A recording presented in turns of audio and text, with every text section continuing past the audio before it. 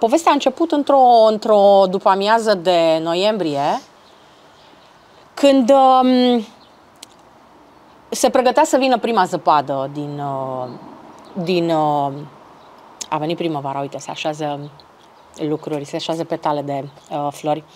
Um, venea prima zăpadă, bătea foarte tare vântul. Eu trebuia să ajung de unde locuiam în București, în centrul orașului.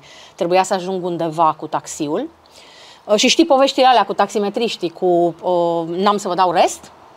Eu aveam doar 100 de lei bani mari, trebuia să ajung într-un, spat, într-un loc pe care nu-l cunosc și am zis nu comand prin aplicație, mai bine mă duc să schimb banii și iau de la o stație de taxi ca să ajung acolo.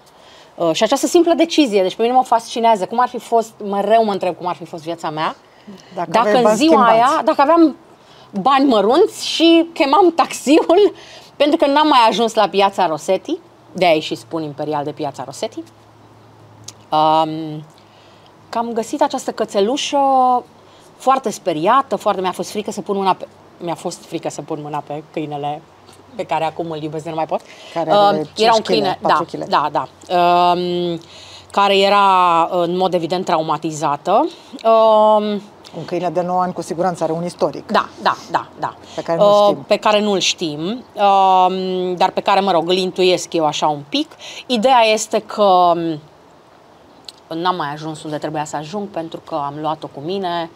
Aveam patru pisici acasă la momentul respectiv și am zis, te luăm și îți găsim stăpânul. Uh, eram convinsă că o să apară de undeva și sigur a început cu un uh, căutăm stăpân o mie de share mai târziu, nu a întrebat nimeni măcar de ea.